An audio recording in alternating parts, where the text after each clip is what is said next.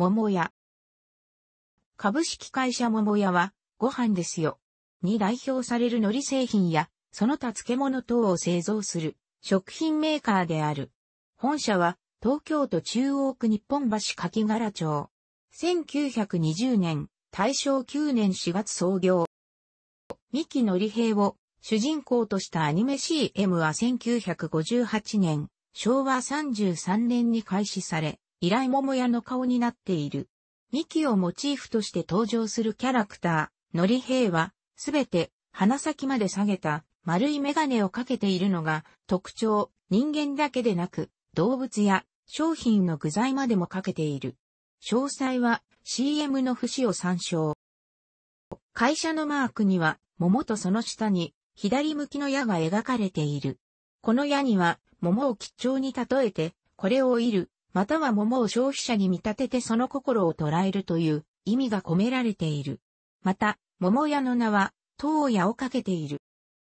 創業者の小出隆夫は、中国、上海の小学校出身で、そこで学んでいた時に、桃が古来中国では、吉兆や長寿のシンボルであることを知った。そこで社名を桃屋商店にした。創業当時から、らっきょうや野菜のみりん付けの瓶詰めを販売し、日本国内はもとより、中国やアメリカへも輸出していた。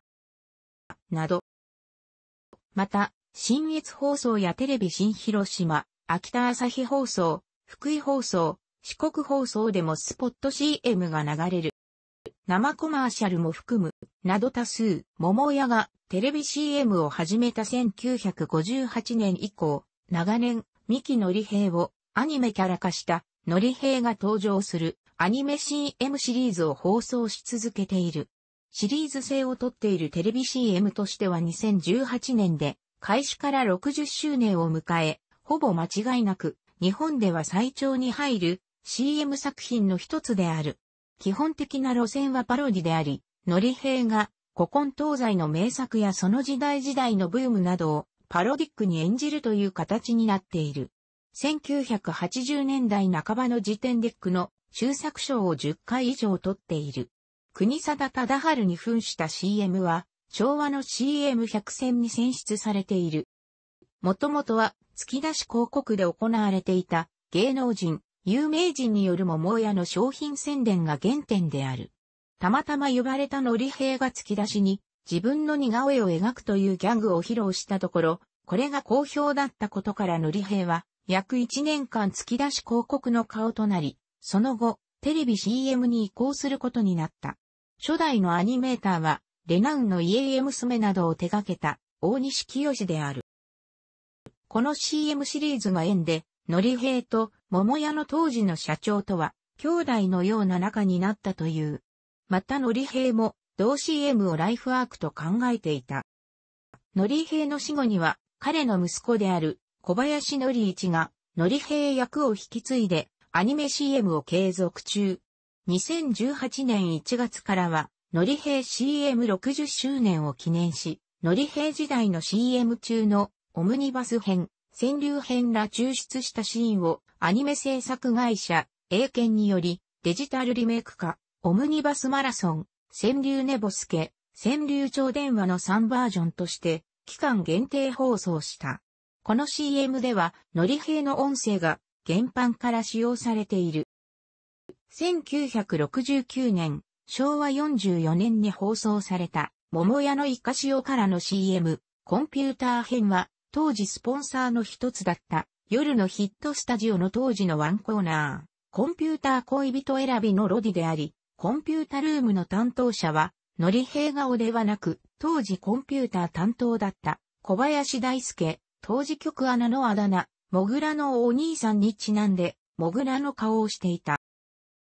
アニメ、ゲゲゲの鬼太郎、第5作とのコラボレーションでは CM が3つある。一つは、鬼太郎と目玉親父が会話をしていると、いつの間にやら顔がのり平になっていくもの。もう一つは、鬼太郎と猫娘が、ご飯ですよ。で、ご飯を食べていると、茶碗風呂に浸かる、目玉親父と共に皆が乗り兵になっていくもの。さらにもう一つはネズミ男、一旦もめん、その他の妖怪が加わり、人間社会に必要なものの会議をしていると、乗り兵になった鬼太郎が、やっぱり、ご飯ですよ。ですよねと言って、瓶を取り出し、やがて皆が乗り兵になっていくというもの。映画版でも一シーンのミラがセリフありで登場している。また、番組本編でも、鬼太郎たちが、ご飯ですよ。を食べる、あるいは、これから食べようと、ことする場面が何回か見られた。